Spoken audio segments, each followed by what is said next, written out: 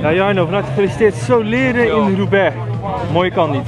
Nee, zeker niet. Eh, het is eh, echt eh, heel mooi om zo aan te komen in die piste ook en dan nog winnen. Ja. Vertel eventjes, hoe waren die laatste kilometers op weg naar deze velodroom? Ehm, nou, ik was eigenlijk, waren, eh, op Carrefour Larbre waren, was drie man weggereden. Daar zat ik niet bij. Toen ben ik er naartoe gereden. En net voor de voorlaatste kassei is ook aangesloten. En na die kassei is ook eh, aangevallen en toen eh, ben ik weggebleven. Het is vandaag goed weer, relatief goed weer.